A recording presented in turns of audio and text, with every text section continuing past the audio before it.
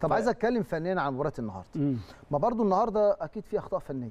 النهارده لما تشوف الهدف الاولاني اللي دخل فينا من ناحية ال ال اليمين بتاعتنا الشمال بتاعت كوريا هو هو نفس الهدف اللي دخل فينا الهدف الرابع. مم. اخطاء فنية. فين النهارده كابتن هاب جلال وتداركه النهارده الأخطاء الفنية وتصليحه للتمركزات الخطا داخل بص يا الملعب. كابتن أسامة كابتن إيهاب يعني برضو الفترة قصيرة جدا. آه. ليه أنت اتكلمت على حاجة مهمة جدا جدا؟ معظم الأهداف اللي جت يمكن من الكرة العرضية. أيوه. الكرة العرضية دي أنت النهارده عايز في الوحدة التدريبية مم. النهارده تخصص.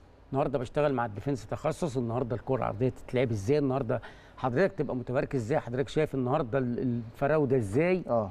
الجنب البعيد مغطي كل هذه الأمور النهارده ثلاث أهداف جايين ثلاث أهداف جايين نتيجة النهارده كره عرضية. كور عرضية. ليه؟ لأن دائما اللعيب بيبقى مشغول النهارده بالكورة وهي جاية مش شايف الخصم.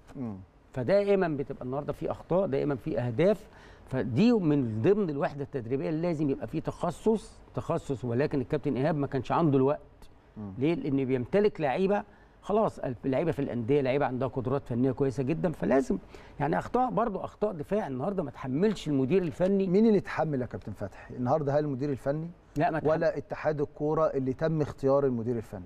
لا بص إحنا برضو خلينا إحنا مين المتسبب يعني- في الشكل يعني العام اللي إحنا بنشوفه دلوقتي؟ إحنا برضو بنتكلم بواقعيه بعد كروش ما مشي النهارده خلاص أصبح الشارع المصري النهارده مطالب آه. أو مطالب النهارده لا مدير فني مصري.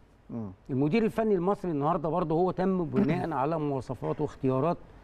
طب طب, طب الاختيارات. برضو معلش المدير الفني المصري. هل النهارده يتم اختيار مدير فن مصري على إيه؟ الأسس والمعايير. مش النهارده أقل حاجة لازم يكون محقق إنجازات. آه كابتن إيهاب جلال لعب في بطولة أفريقيا كونفدرالية خرج منها. ما حققش أي بطولة. طب ما إيه المعايير؟ إيه الأسس؟ ما هو بص حضرتك ما ما فيش أسس دلوقتي. آه. خلاص ما فيش اسس أنا بكلمك جد بقى. مم. هتقول لي النهارده ال CV بتاعتك موجودة في اتحاد الكورة ال CV مش عارف إيه ولا الكلام ده بيحصل. آه. النهارده ال- العملية كلها إيه النهارده إيه؟ مم. عمليه النهارده إن في ود النهارده في مش عارف إيه ناس بتوصي ناس مش عارف إيه حاجات كتير قوي طب مواصفات. ما كابتن فتحي مبروك النهارده بتاريخه الكبير ده. مش هقول مع النادي الأهلي مع منتخبات مصر. ماليش CV فين النهارده؟ في فين النهارده. كابتن فتحي مبروك. من الترشيحات اللي إحنا بنقعد نسمعها. يا حبيبي. فلان مدير فني اتحاد فلان مدير فني اتحاد. طب الراجل ده ده كاس عالم 90 و98 واشتغل مع المنتخبات وباع كبير في اتحاد الكرة المصري بص يا كابتن أسامة أنا بكلمك بنت... أنا مخطئ يعني أنا مخطئ في حق نفسي بكلمك جد. أنا النهارده كان لازم يبقى في تواصل قوي جدا مع الإعلام عشان الإعلام تلمعني وتهيئني.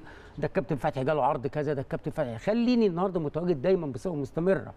ولكن أنا يعني معلش علاقاتي بالإعلام مش قوية جدا عشان تقدر النهارده تبقى على الساحه يعني هو النهارده عشان أشتغل في منصب ممكن أكون الأحق بيه لازم يبقى ليا آه لازم. مين النهارده المؤثر؟ مين المؤثر النهارده على قرارات اتحاد الكوره؟ مين المؤثر النهارده على الجماهير ومين مين؟ الاعلام. يعني أنا بتكلم بواقعية وبتكلم بصراحة. مم. أنا فتحي مبروك بقول لك أنا ضعيف ضعيف في التواصل مع الإعلام. مم. ولكن ولكن فتحي مبروك لحد دلوقتي أنا بقولها لك وبقولها لك علانيه فتحي مبروك يقدر يشتغل ويقدر يشتغل مدير فني ويقدر يشتغل طبعا. مدير فني كويس جدا. ولكن في حاجة بقى دلوقتي بقى أصبحت في مجال كرة القدم يقول لك أصله كبر أصل مش عارف إيه أصل حاجات كتير قوي مقاييس أنا طبعا رافض هذا المبدأ. مع النهارده مع خبرات تراكميه خبرات كبيرة. النهارده خبرات السنوات. شخصيتك. آه. شخصيتك تقدر تقود النهارده. إمكانياتك الفنية قناعة اللعيب بيك موجودة الحمد لله.